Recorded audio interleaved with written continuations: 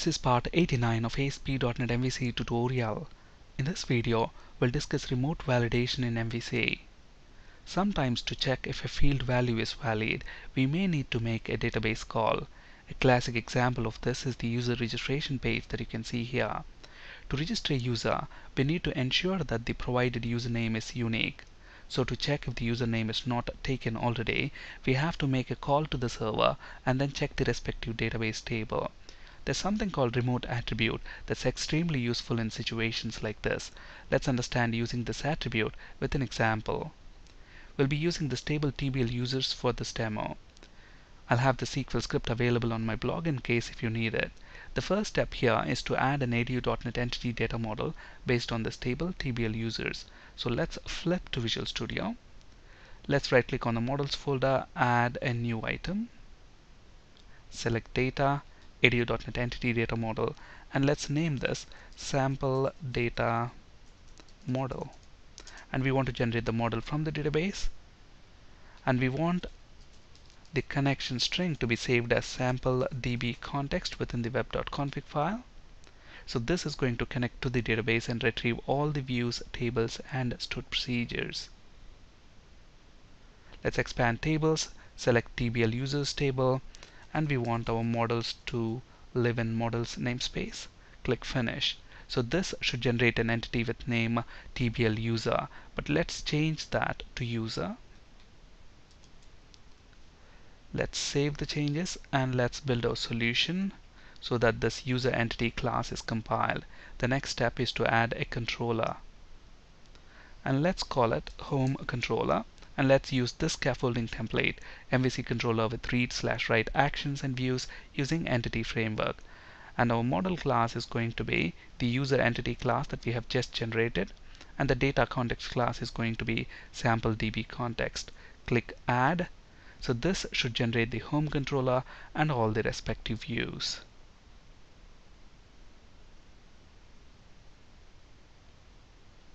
Let's navigate to this create view and let's get rid of the script section otherwise we would get a compiler error. Let's run the application. Now at the moment we don't have any users within this table tbl users. So when this index view renders there will be no users on this view. Okay? Now let's create a new user. Let's try creating a user with test as the full name test as the username and test as the password click create. So this is fine. We don't have any user with that username test. So this record is created fine. But let me create another user with the same username. And let's see. Look at that. It allows me.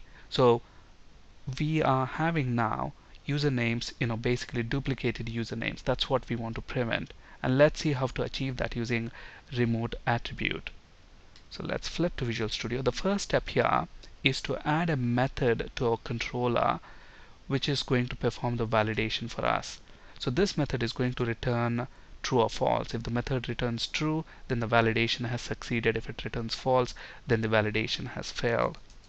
So the return type here is going to be boolean and let's call this method is username available and we are going to pass a parameter to this function username. So we are going to use LINQ extension method any here. Okay, so here we have an instance of our sample DB context class. So this object has got users property which is going to list all the users that are present within the database. So within that list, you know, I'm going to check, you know, if there is any user with the provided username. If that's the case, then we don't want to allow the um, user to be created.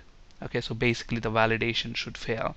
So if you look at this any LINQ extension method it's going to return a boolean true or false. Okay so this method returns true if a match is found. Otherwise it's going to return false. Okay so let's say user such that user dot username equal to whatever username that we are passing into this function. So if there is a match this function will return true otherwise it's going to return false okay? So if there is a match that means the username is already existing in which case we don't want to um, you know allow the user to be created meaning the validation should fail okay? So we should return false in that case if the validation has to fail okay?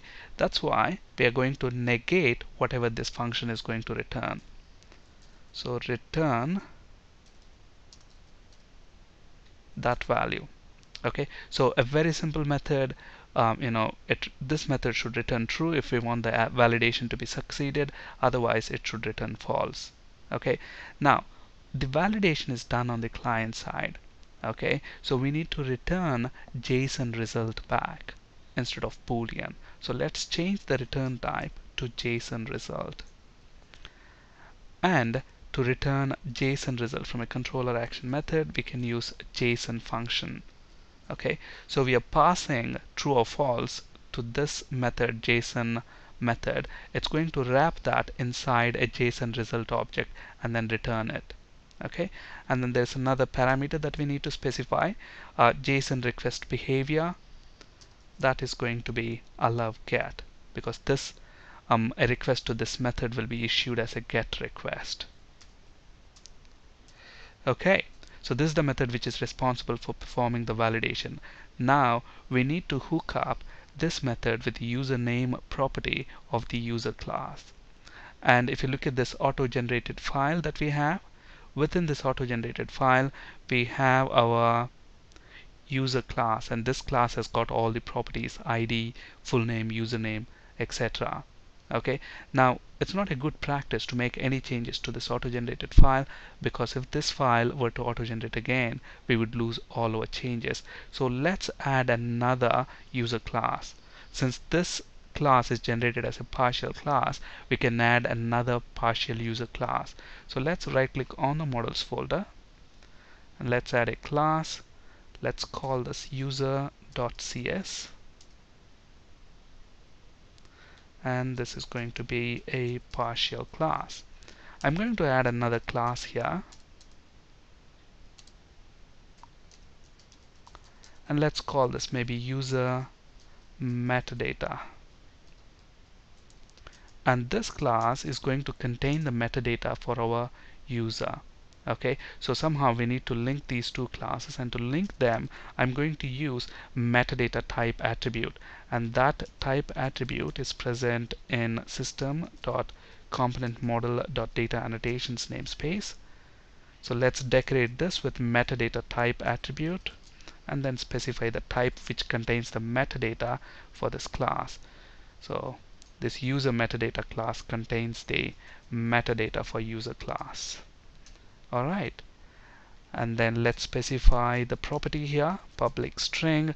What is the name of the property? Username. This is what we want to validate.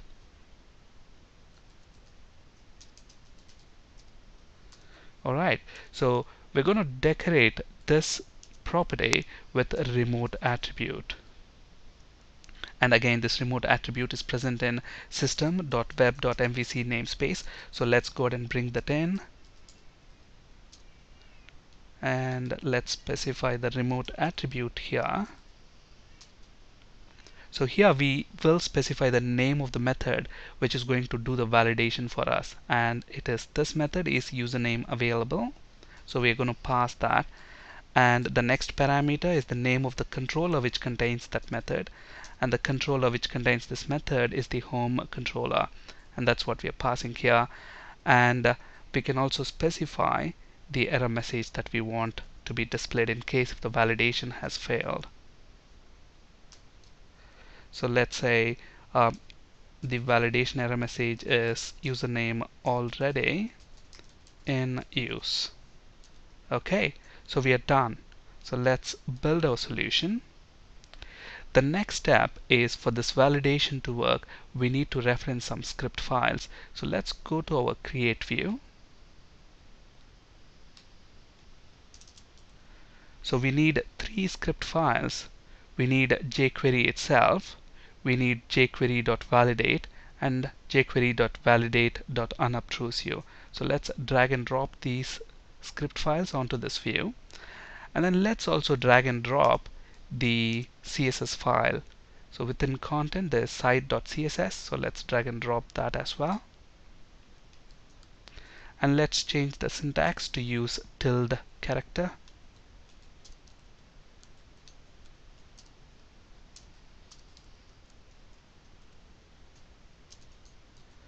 Alright, so let's build a solution. And let's navigate to the create view. Look at that, full name test, username test. And look at this, the moment I tab away, we get that validation error, username already in use. Okay, on the other hand, if I try test one, look at that, the validation goes away. And then once I click create, we should be able to create a user with that username test1 okay? Now for this validation to work make sure within this function you know this parameter username the name of the parameter must match with the name of the field on the create view. So here the name of the parameter is username and then if you look at the create view the field that you see here you know this username field the input field has got the same name username.